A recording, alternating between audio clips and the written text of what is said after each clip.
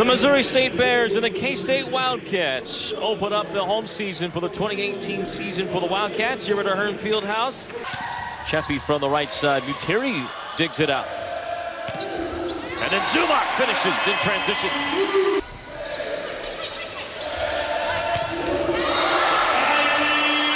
Kylee Zumach lights up Missouri State again. What a solo block that was. Butters unable to get the ball in. An ace for the Wildcats. Just over the net. Another ace! Schulians with back-to-back service aces to end the first set. And the Wildcats claim a 25-18 game one win. Schulians able to finish for the left side. Williams trying to change that. She's dug out. Up, Hoban blocked and down. Williams and. So now even up. We go to extra points. Win by two. Not a good set. It would have been an overpass. And Schulian's able to knock it home. Get an error. Zumach to serve.